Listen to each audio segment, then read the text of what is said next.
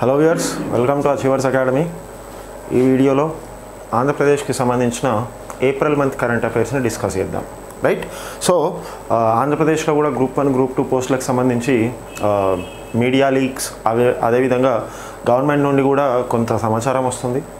Right so దాన్ని దృష్టిలో పెట్టుకొని కరెంట్ అఫైర్స్ అనేవి they play an important role in our preparation that is why Andhra Pradesh current affairs కూడా చాలా important కాబట్టి ఏప్రిల్ మంత్లో జరిగిన ముఖ్యమైన అంశాలు ఈ వీడియోలో అందిస్తున్నాము. సో ఫస్ట్ పాయింట్ చూద్దాము. సో ఆంధ్రప్రదేశ్ గవర్నమెంట్ ఇటీవల ఎవరైతే ఇంట్రెస్టెడ్ ఇండస్ట్రియలిస్ట్స్ ఉన్నారో పారిశ్రామికవేత్తలు ఉన్నారో వాళ్ళకి అన్ని పర్మిషన్స్ ఒకే చోట దొరికేలా. సో దీన్ని మనం సింగిల్ విండో పాలసీ అని అంటాం. ఏమంటాము? సింగిల్ విండో పాలసీ అని అంటాం. Single window policy. సో ఇలాంటి ఒక పాలసీని రూపొందించింది అన్నమాట సింగిల్ విండో పాలసీ. సో ఈ సింగిల్ విండో పాలసీ యొక్క ముఖ్య ఉద్దేశం ఏంటి అంటే ఎవరైతే ఇండస్ట్రియలిస్టులు ఉన్నారో ఓకే ఎవరైతే ఇండస్ట్రియలిస్ట్స్ ఉన్నారో అదేవిధంగా పరిశ్రమలు నెలకొల్పాలి అనుకుంటున్నారో వాళ్ళకు అన్ని పర్మిషన్లు ఒకే చోట. సో దాదాపు ఫోర్టీన్ పర్మిషన్స్ లేదా ఫోర్టీన్ లైసెన్సెస్ ఒకే చోట దొరికేలా ఓకే? ఒకే చోట దొరికేలా ఈ సింగిల్ విండో పాలసీని తీసుకొని రావడం జరిగిందన్నమాట. సింగిల్ విండో పాలసీని తీసుకొని రావడం జరిగింది. అండ్ ఈ సింగిల్ విండో పాలసీని రూపొందించిన సంస్థ ఏది? అంటే AP IIC AP IIC so Andhra Pradesh industrial and infrastructure corporation. Andhra Pradesh గవర్నమెంట్తో కలిసి ఎవరైతే ఔత్సాహిక పారిశ్రామికవేత్తలు ఉన్నారో ఇండస్ట్రియలిస్టులు ఉన్నారో వాళ్ళకు ఒక సింగిల్ విండో పాలసీని ప్రవేశపెట్టడం జరిగింది. సో ఇక్కడ దాదాపు ఫోర్టీన్ టైప్స్ ఆఫ్ పర్మిషన్ అంటే మనం ఏర్పాటు చేయబోయే ఇండస్ట్రీకి ల్యాండ్ కానివ్వండి ల్యాండ్ అలొకేషన్ కానివ్వండి డిఫరెంట్ టైప్స్ ఆఫ్ లైసెన్సెస్ కానివ్వండి. సో అన్నీ కూడా ఒకే చోట. సో ఈ ఆఫీస్కి ఆ ఆఫీస్కి తిరగకుండా ఎవ్రీథింగ్ ఎట్ వన్ ప్లేస్లో ఉంచడం కోసం సింగిల్ విండో పాలసీని Andhra Pradesh state industrial and infrastructure corporation తీసుకొని రావడం జరిగింది ఈ సింగిల్ విండో పాలసీని. రైట్? దీంట్లో భాగంగా పౌర సేవలు పేరుతో ఒక వెబ్ పోర్టల్ని కూడా ప్రారంభించారు. ఓకే పౌర సేవలు పేరుతో ఒక వెబ్ పోర్టల్ని కూడా ప్రారంభించారు. అండ్ అన్ని పర్మిషన్లు ఒకే చోట లభించేలా ఒక వెబ్సైట్ని కూడా A P A P industries dot G O V dot in పేరుతో ఒక వెబ్సైట్ని కూడా క్రియేట్ చేయడం జరిగిందనమాట రైట్ సో ఇది మనం గుర్తుపెట్టుకోవాల్సిన first important topic April month Andhra Pradesh right so ఆ తర్వాత ఇన్వెస్ట్ ఇండియా అనే సంస్థ ease of doing business okay ease of doing business ease of doing business అనే ఒక ర్యాంకింగ్ని ప్రచురిస్తుంది ఈజ్ ఆఫ్ డూయింగ్ బిజినెస్ అనే ర్యాంకింగ్ని ప్రచురిస్తుంది.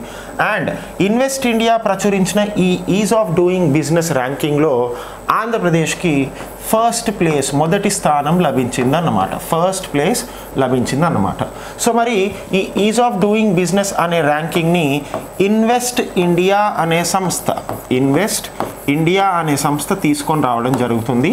అండ్ ఇన్వెస్ట్ ఇండియా తీసుకొని వచ్చిన ఈజ్ ఆఫ్ డూయింగ్ బిజినెస్ ర్యాంకింగ్స్లో ఆంధ్రప్రదేశ్ ఫస్ట్ ప్లేస్ని సాధించింది అన్నమాట ఓకే సో ఇంకా ఏం చెప్తుంది అని అంటే ఆంధ్రప్రదేశ్ ఎందుకు number one ease of doing business స్టేట్గా నిలిచింది? అంటే ట్వంటీ నైన్ ఆపరేషనల్ ఎస్సీజెడ్స్ అంటే మనకి ఇండస్ట్రియల్ జోన్స్ ఏవైతే ఉన్నాయో దాదాపు స్పెషల్ ఎకనామిక్ జోన్స్ అంటాం కదా సో అలాంటివి తొమ్ ఇరవై తొమ్మిది. అదేవిధంగా ప్లాండ్ ఇండస్ట్రియల్ హబ్స్ నాలుగు ఉన్నాయి సో ఆరు ఎయిర్పోర్టులు ఉన్నాయి అండ్ ఆరు పోర్టులు ఉన్నాయి సో ఇన్ని కారణాల వల్ల ప్రతి ఒక్క సంస్థకి లేదా ప్రతి ఒక్క ఇండస్ట్రీకి ఆంధ్రప్రదేశ్ హాట్ డెస్టినేషన్గా ఉంది అని చెప్పేసి ఈజ్ ఆఫ్ డూయింగ్ బిజినెస్లో ఫస్ట్ ప్లేస్ని ప్రజెంట్ చేయడం జరిగింది ఆంధ్రప్రదేశ్ స్టేట్కి. అదేవిధంగా ఈ నివేదిక ఏం చెప్తుంది అని అంటే రెండు వేల పంతొమ్మిది నుండి రెండు వేల పంతొమ్మిది నుండి రెండు వేల ఇరవై ఒకటి మధ్య కాలంలో so two thousand nineteen two thousand twenty one ఈ రెండు సంవత్సరాల మధ్య కాలంలో ఆంధ్రప్రదేశ్కి దాదాపు four hundred and fifty one million dollars four hundred and fifty one million dollars పెట్టుబడులు లభించాయి.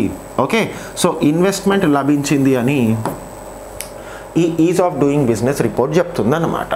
Right so this is the second most important topic ఆ తర్వాత థర్డ్ ఇంపార్టెంట్ టాపిక్ని కనుక మనం గమనిస్తే సో సెంట్రల్ గవర్నమెంట్ అదేవిధంగా మనందరికీ తెలిసిందే ఆంధ్రప్రదేశ్ నూతనంగా మరో పదమూడు జిల్లాలను ఏర్పాటు చేసింది. అండ్ ఆ పదమూడు జిల్లాలకు సంబంధించి లోకల్ గవర్నమెంట్ డైరెక్టరీ కోడ్స్ అని అంటామన్నమాట. Okay local government directory local government directory కోడ్స్ని కేంద్ర ప్రభుత్వం ఈ కోడ్ నెంబర్లను కేటాయించడం జరిగింది ఆంధ్రప్రదేశ్లో కొత్తగా ఏర్పడ్డ జిల్లాలకు. ఓకే? సో ఒకసారి ఆ కోడ్ నెంబర్లను కనుక మనం గమనిస్తే seven hundred and forty three Parvathipuram. Okay? Seven hundred and forty three Parvathipuram. ఆ తర్వాత seven forty four Anakapalli. Seven forty four Anakapalli. అదేవిధంగా మనకి seven forty five Alluri Sitarama Raju district అదేవిధంగా seven forty six Kakinada seven forty seven Konaseema seven forty eight Eluru seven forty nine NTR జిల్లా seven fifty Bapatla seven fifty one Palnadu seven fifty two Tirupati seven fifty three Annamayya seven fifty four Sathya Sai జిల్లా and seven fifty five Nandyal జిల్లా. Right so ఈ విధంగా local government directory కోడ్స్ను కేంద్ర ప్రభుత్వం కొత్తగా ఏర్పడిన ఈ జిల్లాలకు కేటాయించడం జరిగిందన్నమాట. కేటాయించడం జరిగింది. సో ఇది కూడా మనం గుర్తుపెట్టుకోవాలి. ఆ తర్వాత మనకు తెలిసిందే ఏప్రిల్ పదకొండవ తారీఖున. సో ఏప్రిల్ పదకొండవ తారీఖున ఆంధ్రప్రదేశ్ స్టేట్ క్యాబినెట్. సో ఇరవై నాలుగు మంది మంత్రులు okay. So twenty four ministers ఏం చేశారు? రిజైన్ చేశారు తమ తమ పదవులకు. అవునా? సో మనందరికీ తెలిసిందే గవర్నమెంట్ ఏర్పాటు చేసిన తర్వాత జగన్మోహన్ రెడ్డి గారు ఏం చెప్పారు? సో సగం కాలం తర్వాత అంటే రెండున్నర సంవత్సరాల తర్వాత పాత మంత్రుల్లో బాగా పనిచేస్తున్న వాళ్ళని అదే విధంగా ఉంచి మిగతా వాళ్ళని తీసేసి దాంట్లో కొత్త వాళ్ళని ఇన్క్లూడ్ చేస్తాము రాష్ట్ర మంత్రి మంత్రి మండలిలో అని చెప్పడం జరిగింది. సో దాంట్లో భాగంగా ఇరవై నాలుగు మంది మంత్రులు రిజైన్ చేశారు అండ్ కొత్తగా మళ్ళీ మంత్రి వర్గాన్ని ఏర్పాటు చేయడం జరిగింది. సో ఈసారి ఉన్న క్యాబినెట్ని కనుక చూసుకుంటే సెవెంటీ పర్సెంట్ కూడా seventy percent of the ministers either belong to SC ST and BC okay so డెబ్బై శాతం మంత్రులు ఎస్సీ ఎస్టీ మరియు బీసీ వర్గాలకు చెందినవారు. ఓకే? సో ఓవరాల్గా Andhra Pradesh state cabinet strength twenty five అయితే ఇందులో పది మందిని రీటైన్ చేశారన్నమాట. అంటే పది మంది పాత మంత్రులను కొనసాగించి పద్నాలుగు కొత్త వారిని ఓకే న్యూ మినిస్టర్స్ అపాయింట్ అవ్వడం జరిగింది. కొత్త మంత్రులు అపాయింట్ అవ్వడం జరిగిందన్నమాట. ఓకే సో ఇందులో కనుక చూసుకుంటే బీసీ నుండి సో బ్యాక్వర్డ్ క్లాసెస్ నుండి పది మంది మంత్రులుగా ఉన్నారు. ఆ తర్వాత కాపు సో కాపు నుండి నలుగురు మంత్రులుగా ఉన్నారు. ఆ తర్వాత రెడ్డి. సో ఈ రెడ్డి క్యాస్ట్ నుండి ఫోర్ మెంబర్స్ని మినిస్టర్స్గా అపాయింట్ చేయడం జరిగింది.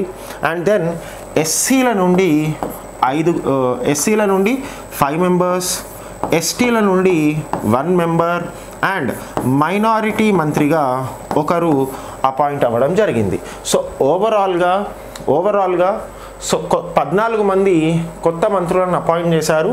అండ్ దీనితో దీనితో ఇప్పుడు ఆంధ్రప్రదేశ్ క్యాబినెట్లో ఈ విధంగా మంత్రులు ఉన్నారన్నమాట. సో బీసీ మంత్రులు టెన్ మెంబర్స్ కాపుకు సంబంధించిన వాళ్ళు నాలుగు రెడ్డి సామాజిక వర్గానికి సంబంధించిన వాళ్ళు నాలుగు షెడ్యూల్డ్ క్యాస్ట్ వాళ్ళు ఐదు ఎస్టీలు ఒక ఒకరు అండ్ మైనారిటీకి సంబంధించి ఒక మంత్రిని ఈ మధ్య జరిగిన ఆంధ్రప్రదేశ్ క్యాబినెట్ రీషఫుల్లో భాగంగా చేయడం జరిగిందన్నమాట.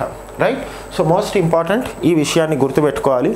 ఆ తర్వాత ఆంధ్రప్రదేశ్ స్టేట్ గవర్నమెంట్ రాష్ట్రంలో చిరుధాన్యాలు అంటాం కదా సో వీటినే సింపుల్గా మిల్లెట్స్ అని అంటాం.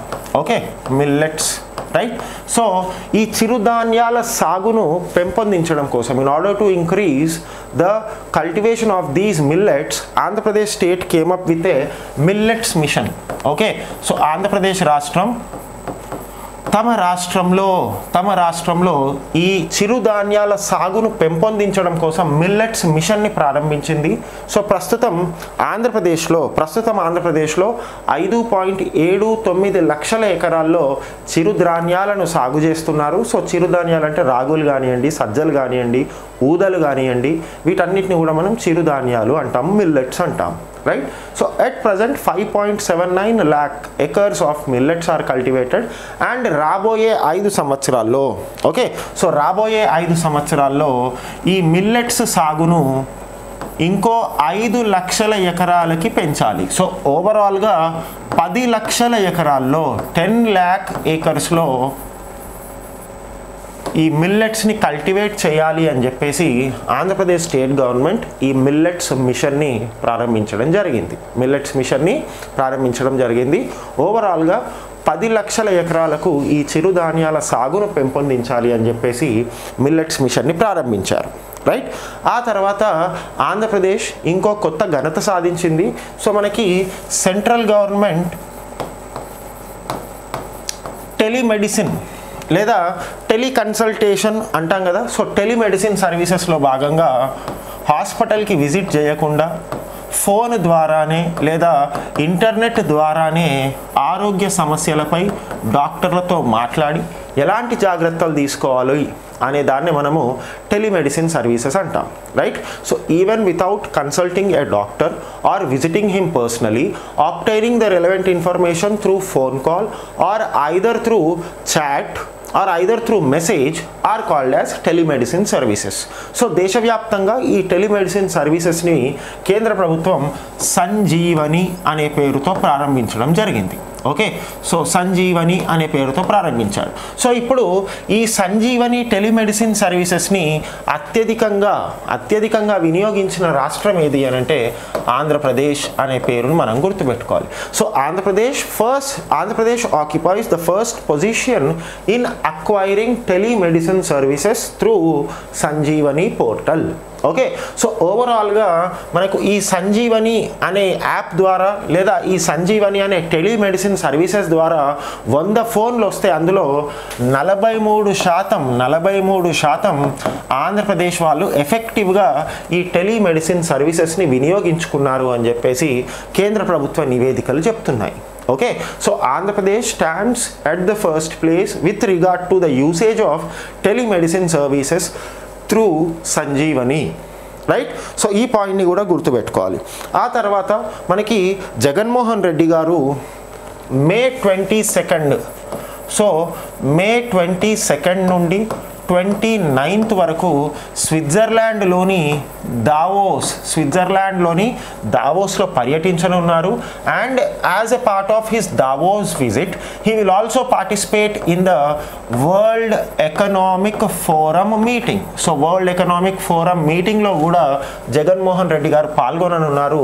సో వారం రోజుల పాటు Jaganmohan Reddy will tour in the Switzerland okay and ఆ స్విట్జర్లాండ్లోని దావోస్లో జరగబోయే వరల్డ్ ఎకనామిక్ ఫోరం మీటింగ్లో కూడా పాల్గొననున్నారు Jaganmohan Reddy. Right so most important May twenty second నుండి ట్వంటీ నైన్ మధ్య కాలంలో CM is going to visit Switzerland right ఆ తర్వాత మనకు నెల్లూరు జిల్లాలోని నెల్లూరు జిల్లాలోని బొడ్డువారిపాలెం అనే ప్రదేశంలో నెల్లూరు జిల్లాలోని బొడ్డువారిపాలెం. బొడ్డువారం బొడ్డువారిపాలెం సో ఇది ఎక్కడుంది నెల్లూరు జిల్లాలో ఉంది. అండ్ ఈ నెల్లూరు జిల్లాలోని బొడ్డువారిపాలెంలో మితాని అంటే Mishra Dhatu Nigam limited Mishra Dhatu Nigam limited and NALCO NALCO అంటే నేషనల్ అల్యూమినియం కంపెనీ. సో ఈ రెండు సంస్థలు కలిపి నెల్లూరులోని బొడ్డువారిపాలెం ఈ గ్రామంలో ఈ గ్రామంలో దాదాపు ఐదు వేల ఐదు వందల కోట్లతో ఐదు వేల ఐదు వందల కోట్లతో అత్యాధునిక అత్యాధునిక అల్యూమినియం ఇండస్ట్రీని ఓకే అల్యూమినియం ఇండస్ట్రీని ఏర్పాటు చేయనున్నారన్నమాట.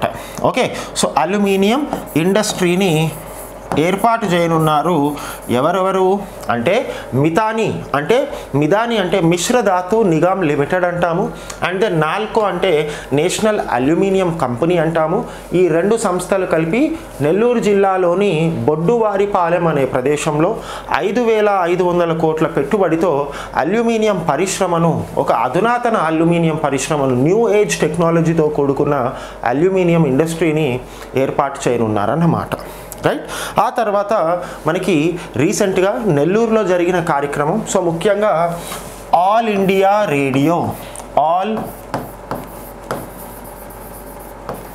India Radio. So ఈ ఆల్ ఇండియా రేడియోకి సంబంధించిన న్యూ రేడియో స్టేషన్ని న్యూ రేడియో స్టేషన్ని న్యూ రేడియో స్టేషన్ని నెల్లూరు జిల్లాలో నెల్లూరు జిల్లాలో వైస్ ప్రెసిడెంట్గా ఉన్న వెంకయ్య నాయుడు గారు ఇనాగురేట్ చేశారన్నమాట. ఓకే సో నెల్లూరు జిల్లా కేంద్రంగా ఒక కొత్త రేడియో స్టేషన్ని ఆల్ ఇండియా రేడియోకి సంబంధించిన కొత్త రేడియో స్టేషన్ని నెల్లూరు జిల్లాలో ఆవిష్కరించారు ఎవరు? అంటే ఉపరాష్ట్రపతి Venkaiah Naidu garu right so all India రేడియోకి సంబంధించిన కొత్త రేడియో కేంద్రాన్ని new radio station of All India Radio was inaugurated at Nellore by by vice president Venkaiah Naidu ji right ఆ తర్వాత వార్తల్లో నిలిచిన ఇంకో ముఖ్యమైన అంశం.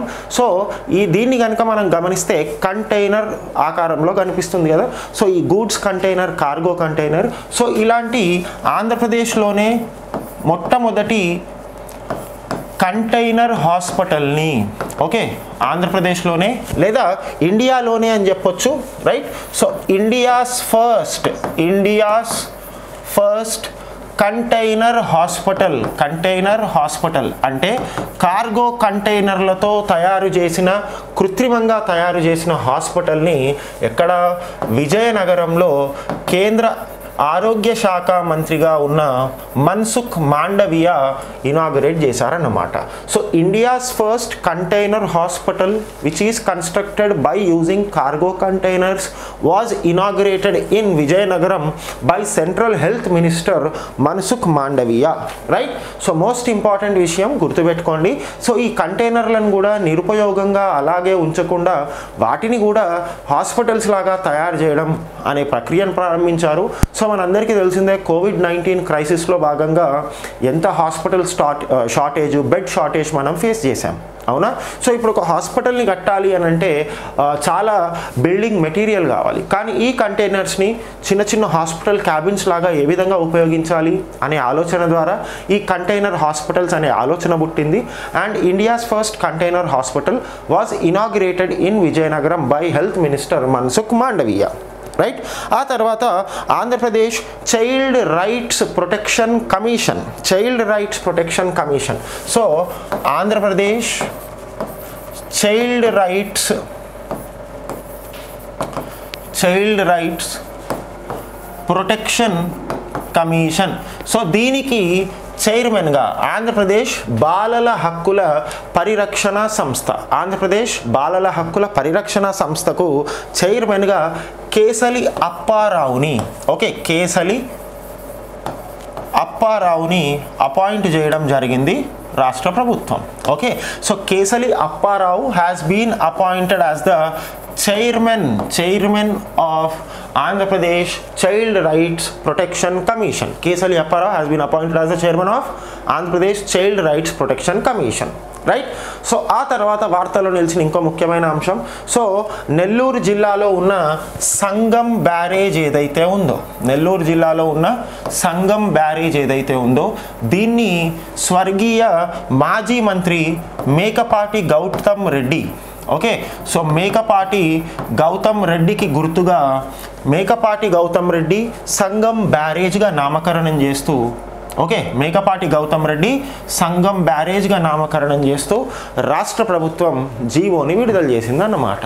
Okay so Nellore district Sangam barrage has been renamed after has been renamed after minister Mekapati Goutham Reddy in order to honour him right so ఇవి మనకు Andhra Pradesh April twenty twenty టూకి సంబంధించిన most important current affairs and ఆంధ్రప్రదేశ్లో కొత్తగా పదమూడు జిల్లాలు ఏర్పడ్డాయి.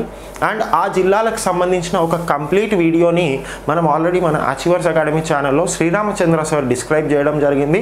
So I hope you watch that video also and ప్రస్తుతం ఆంధ్రప్రదేశ్లో పాపులేషన్ పరంగా హయ్యెస్ట్ హయ్యెస్ట్ పాపులేషన్ ఉన్న డిస్ట్రిక్ట్ ఏది అంటే that is Nellore and area పరంగా లార్జెస్ట్ డిస్ట్రిక్ట్ ఏది అని అంటే దట్ ఈస్ ప్రకాశం. సో ఈ పాయింట్లను కూడా గుర్తుపెట్టుకోండి. I hope you like the video thank you for watching and I wish you all the best